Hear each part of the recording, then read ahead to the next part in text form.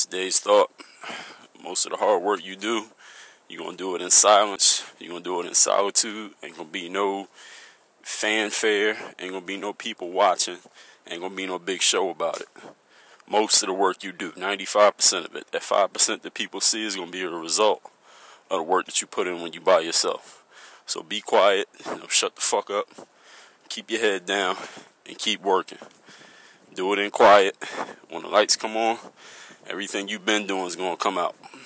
Work on your game.